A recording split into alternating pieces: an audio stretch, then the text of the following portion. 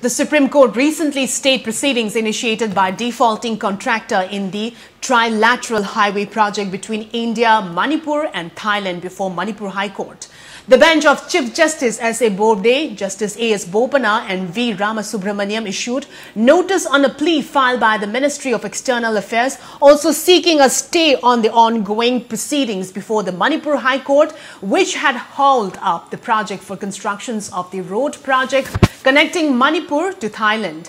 With a stay on the High Court proceedings, the CJI-led bench had freed a significant barricade in the culmination from a trilateral highway connectivity ventures between India, Myanmar and Thailand.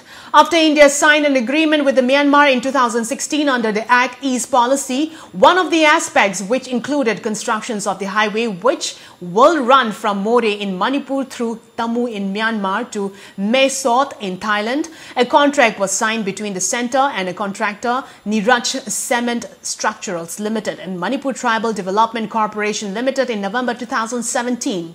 The centre terminated its contract on December 2018 with the contractor Nirach Cement due to impending delays. This led to the litigation battle initiated by Nirach Cement in 2019 with Nirach Cement challenging the order of termination.